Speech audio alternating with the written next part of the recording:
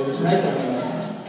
1997年 YCB 創設以来横浜をずっと支え続けてきた男その昔日本三大パワームーバーと言われた一人日本にロングコンビネーションという名称を作り上げた張本人横浜シティブレイカーズリーダーそしてバトルシティ総指揮官 b ボーイ